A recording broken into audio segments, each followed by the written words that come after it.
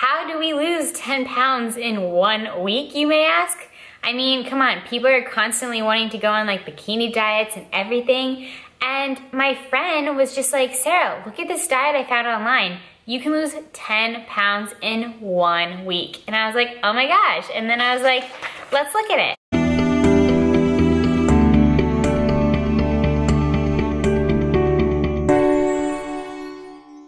So just want to check it out with you guys. It's called the Military Diet Plan. So here it is. I printed it out just because why not?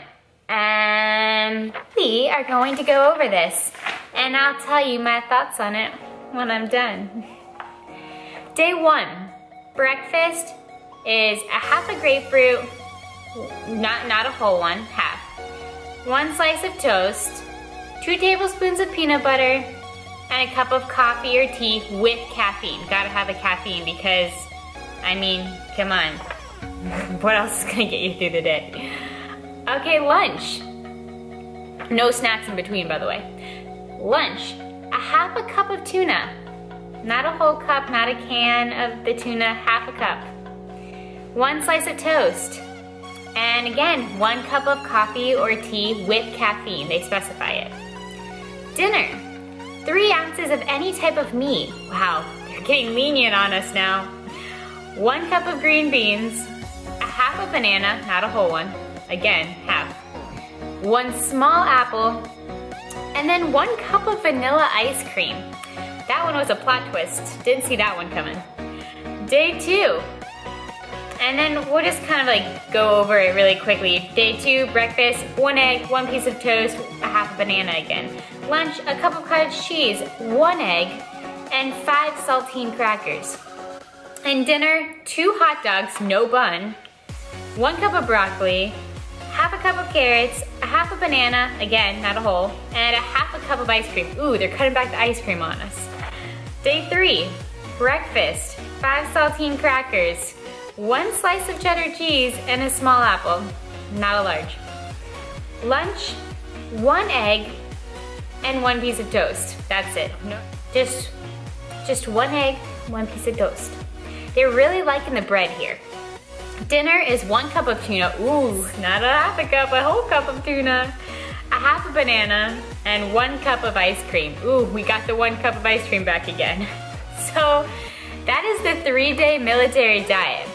Now, if you couldn't tell by my tone of voice, I don't really agree with this. Like, my friend was like, oh, like this sounds like really cool, Sarah. Like, check it out. Like, let me know your thoughts on it.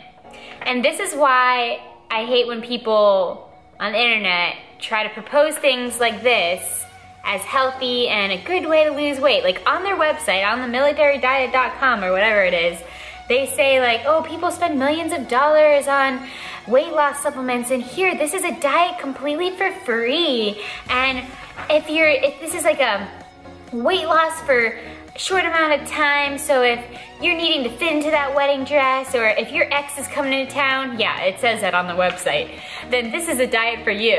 And then they're like, and if you keep this diet up for a month, you can lose 30 pounds. Wow. No, seriously though, guys, like, be careful what you trust on the internet. This, this is called starvation, and this is called depriving your body of so many nutrients. And if you ever see some kind of plan out there that says like lose five pounds in three days or 10 pounds in a week, like chances are it's gonna be just a starvation diet and it's not healthy for you. So stay away from diets, don't do the D,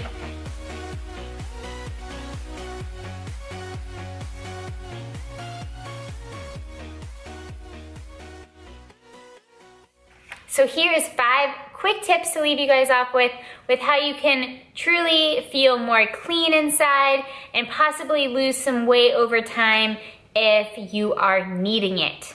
Number one, start your day with a warm glass of lemon water because that can be so, so cleansing to your system and it's really great to start your day off with water anyways. A lot of us are dehydrated when you wake up, so just try to start your day off with a full glass or two of water and lemon juice is extra cleansing, so try to add that to it. Number two, be active. At least get in 30 minutes of exercise in your day, whether that just be going on a walk, whether that be mowing your lawn that you have to do anyways, or even going to the gym and just doing some weight work. Like 30 minutes every day, that's all it takes to just start living a more active lifestyle. Number three, cut out all the fake sugar, regular sugar, and processed foods. Okay, not all of it, but you get the gist of it. Just try to eat at least 80% raw and whole foods, and then that 20% can be for whatever kind of foods you love most. Me, it's ice cream. Number four, eat some breakfast because a lot of times you tend to maybe overeat at night or you have a lot of food the day before and you think, I shouldn't be eating breakfast right now, I'm just gonna starve myself. Unfortunately, that usually leads to eating more later in the day. So just try to get something even little, and like I'm not a big breakfast person myself, but I always have like some fruit or like an uh, like banana and peanut butter, apple and peanut butter, or something like that. Mix protein powder into my coffee, vegan, because that stirs in the best. That just gets you a little something in your system in the very beginning of the morning to start your metabolism going. And number five, don't get discouraged. Have a bad day, it's okay. The next day, start your day off active, start it with a glass of warm lemon water, and you know, be okay with mess ups and just start eating clean that day. So, hope you guys enjoyed this.